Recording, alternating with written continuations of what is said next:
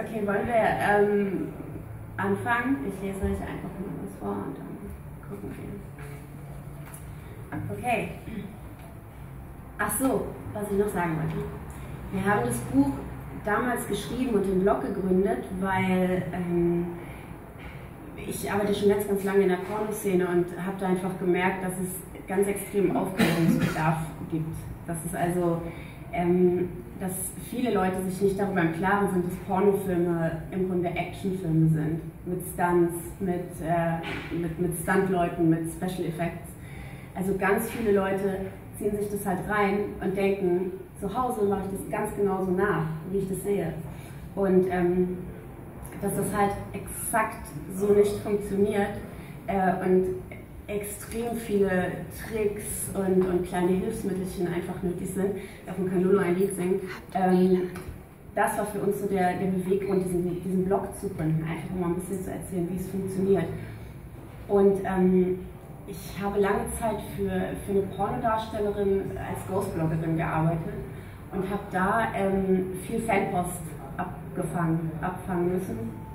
Und was für mich immer ganz schlimm war, war, wenn, wenn ihre Fans über, über Analsex äh, gesprochen haben mit ihren Frauen, weil diese Dame war für ihre Analsex-Szenen berühmt.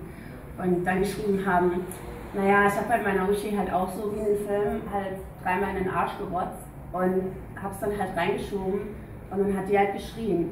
Und sowas kam halt ständig. Also wie viele Leute verletzt werden, dadurch, dass Leute halt denken, naja, ich mache halt den Analsex einfach mal so nach wie im Porno von Lulugan. Die übrigens keine Analszenen dreht.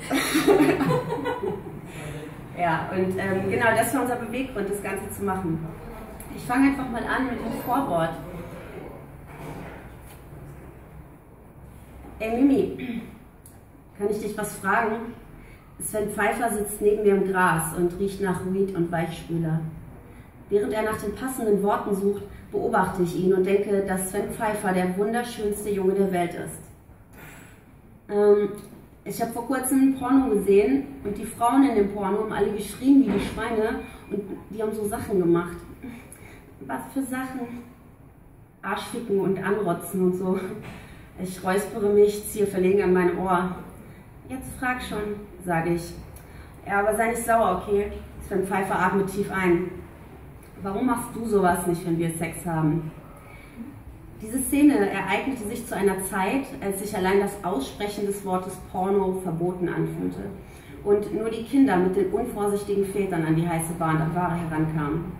Es muss gegen Mitte der 90er Jahre gewesen sein, als mein damaliger Freund Sven Pfeiffer und ich auf einer Waldlichtung saßen und er mir die Frage stellte, die zum Auslöser meiner Pornoangst werden sollte. Ich war ein Teenager mit einem zerbrechlichen Selbstbewusstsein. Sven Pfeiffer dagegen ein kiffender Skaterjunge mit dem Taktgefühl eines Vertreters der Lokalpresse. Wir hatten wenige Wochen zuvor unser gemeinsames erstes Mal in einem Zelt auf dem Bullshit Festival in der nordrhein-westfälischen Provinz absolviert. Und was soll ich sagen? Der Name des Festivals hätte den Erlebnischarakter unserer Sexpremiere nicht besser beschreiben können. Es tat weh und ich blutete meinen Schlafsack und ein bisschen Sven Pfeiffers Jeans voll. Wenigstens war das Gemetzel nach wenigen Minuten vorüber, ich frohlockte. Dementsprechend hielt sich meine Begeisterung für diesen Sex, den angeblich alle so toll fanden, in Grenzen. Doch ich war willens, mich zur Ekstase vorzuvögeln, die sich laut Bravo, die wir damals gelesen haben, spätestens dann einstellen sollte, wenn ich mich nur genügend locker machte. Als nun Sven Pfeiffer mir durch die Blume mitteilte, dass ich noch lange nicht locker genug und wenigstens im Vergleich zur Pornokonkurrenz ein graues Mäuschen war, fiel mein Sex ist vielleicht doch gar nicht so kacke Kartenhaus laut krachend in sich zusammen. Ich räusperte mich, straffte meinen Rücken und sagte etwas wie, ey Sven, du bist so ein perverses Ekelschwein, dann hol dir doch einen auf deine Pornos runter, ich mach Schluss. Natürlich war Sven Pfeiffer kein perverses Ekelschwein, sondern ein anständiger Kerl mit einem gesunden pubertären Sexdrive. Doch sorgte dieses Gespräch im Wald dafür, dass sich ein Minderwertigkeitskomplex entwickelte, weil die Pornodarstellerinnen all das taten, wozu ich zu dieser Zeit nicht in der Lage war.